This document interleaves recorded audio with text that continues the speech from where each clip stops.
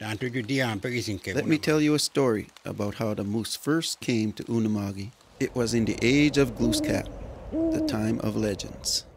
The families were setting up winter camp inland as the people did in those times. Pendant l'été, les familles avaient bien survécu. Families had survived well in the summer on the coast, where seafoods and berries had sustained them. Au moment où ils érigeaient leur wigwam, pour Just as they were setting up their wigwams for the first night, a winter storm hit. It was very sudden. It brought such a heavy snowfall that winter set in immediately in just one day. They hadn't had enough time to harvest meat, their winter food, to survive until spring. The families prayed to the Creator for help. They knew that their people would only survive the winter if the Creator sent them a gift.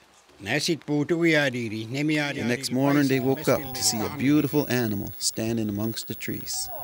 It was the first moose. The Creator had answered the people's prayers. They went to the moose and asked, Are you a gift from the Creator? The moose said, Yes, I am here to help you survive the harsh winter. But before you harvest me, you have to make a promise.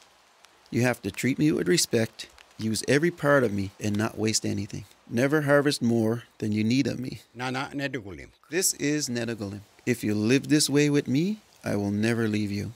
So that was the beginning of the ancient agreement between the moose and the people. It was like a promise between the humans and the moose. We had to respect the animal. If we ever failed to do this, the moose would leave us. For many centuries, this agreement was kept by the people of Mi'kma'ki.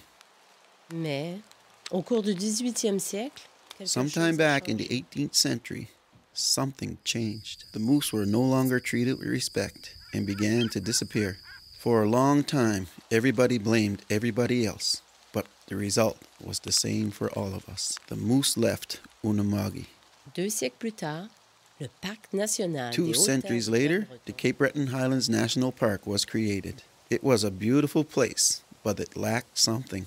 The moose needed to come home to Unama'ki, so a great effort was made to bring the moose back. They were escorted from Alberta by the RCMP. That is how precious they are. 18 moose arrived. Those 18 moose were the start of a new herd we now see in the Cape Breton Highlands. There are over 5,000 of them now. It was a new beginning. Our harvesters, who have been separated from this gift from the Creator for so many years, are bringing back the ancient agreement. We remember the long years of not being able to depend on this great animal to sustain us. And you give me the mool Idiom? So, as long as we respect the moose, harvest it with care, and avoid waste, the moose will not leave us again. The spirit moose is here today to remind us. That is the sacred agreement.